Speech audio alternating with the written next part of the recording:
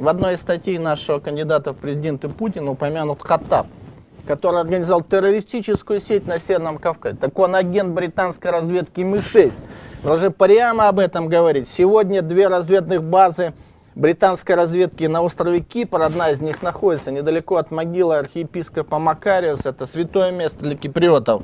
Но они не могут выдавить эту базу своей территории, которая контролирует всю территорию практически России и весь Ближний Восток. И с этой базы и осуществляется поддержка этих так называемых арабских революций, которые полностью управляются из Лондона. И создается цепочка Ми-6, центр управления BBC Аль-Джазира. Ведь весь состав арабской редакции BBC сегодня это телеканал Аль-Джазира. Ни о какой независимости этого телеканала не может быть и речи.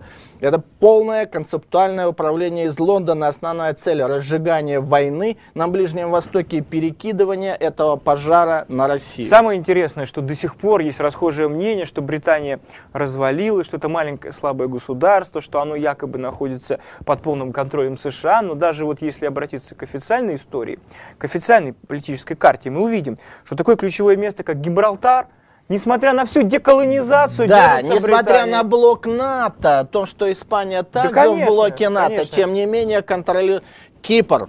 Ключевая. Мало кто знает, точка. там 10% территории находится да. под контролем Британии. Более того, крупнейшая база радиоэлектронной разведки. Все наши туристы с мобильными телефонами в Египте, в Турции, на Кипре находятся под полным тотальным контролем это... Можно дальше продолжать. Возьмем архипелаг Чагас. Да. Уникальный, между прочим, остров. Если посмотреть на карту, то примерно на равном расстоянии находятся все ключевые точки Индийского океана.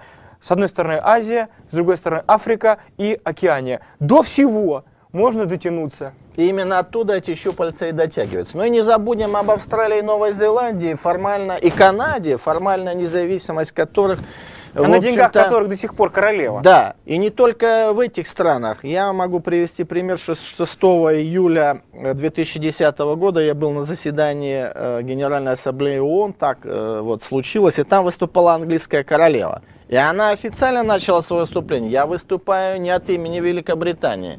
Я выступаю как глава британского содружества от имени 56 государств.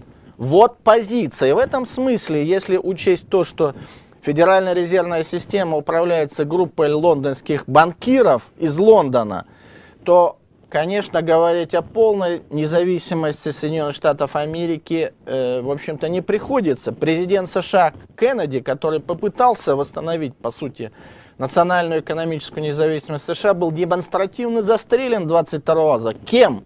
Безусловно, агентами британской разведки Ми-6, с моей точки зрения. Как и операция 11 сентября, для чего она была проведена 2001 года. Я приведу последний пример.